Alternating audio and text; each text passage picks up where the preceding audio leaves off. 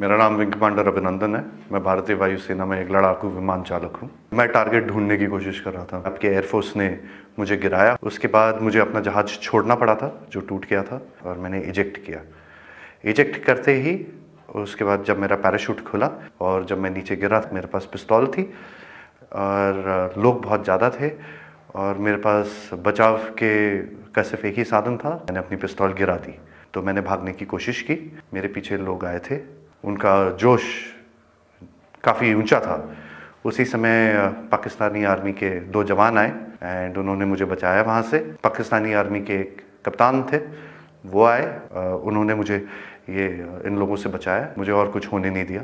फिर वो मुझे अपने यूनिट तक लेके गए जहाँ पे मुझे फ़र्स्ट एड दिया गया। एंड uh, फिर उसके बाद uh, मुझे हॉस्पिटल ले जाया गया जहाँ पे uh, मेरी जाँच हुई। और मुझे और एड दिया गया।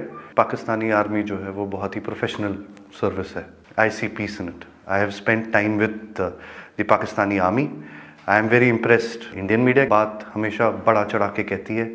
जो छोटी सी चीज़ होती है, उसका बहुत ही, उसको इतना इतना आग लगा के, इतनी मिर्च लगा के बोलते हैं वो, उसमें लोग बहकावे में आ जाते हैं।